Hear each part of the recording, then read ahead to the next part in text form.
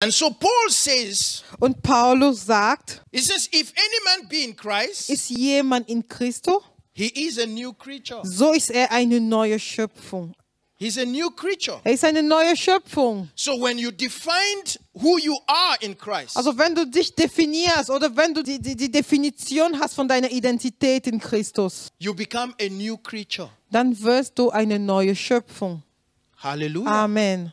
Paul is explaining to us something important Paulus erklärt uns hier etwas Wichtiges. that we become a new being Also wir werden eine neue Schöpfung, when we tap into that which God has made us to be, which is in Christ. Und zwar, wir werden eine neue Schöpfung, wenn wir zu der Feststellung kommen, wer Gott gemacht hat aus uns, also was unsere wahrhaftige Identität So ist. we are in Christ. Also wir sind in Christus. So to be in Christ In Christus zu sein, has to affect the way we think. soll auch einen Einfluss haben auf unsere Denkweise. So when your thinking is not affected, Und wenn deine Denkweise da, dabei nicht berührt wird, you are yes in Christ, du bist ja äh, stellungsweise in Christus, but you are not. You don't find your being in Him. aber dein Wesen findest du trotzdem nicht in ihm. It is our responsibility Und, und jetzt ist das unsere Verantwortung, to accept our being dass wir auch unser Wesen in Christus annehmen. And how do we do that? Und wie tun wir das? By changing the way we think. Indem wir unsere Denkweise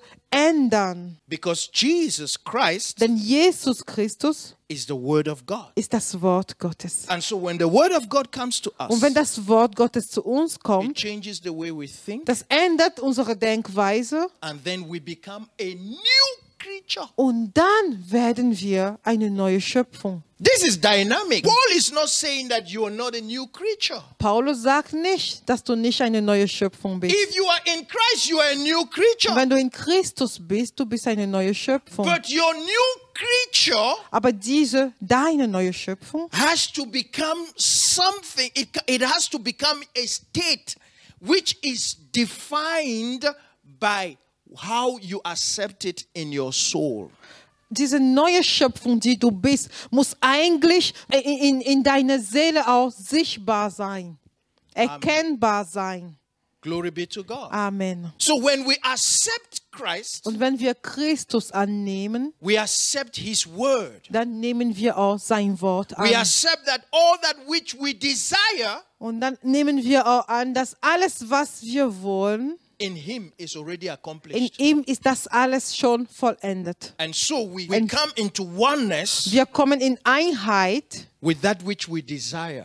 mit dem, was, mit das alles, was wir auch wollen, mit unseren Wünschen. So Jesus Christ Und Jesus Christus is our desire. ist das unsere Sehnsucht.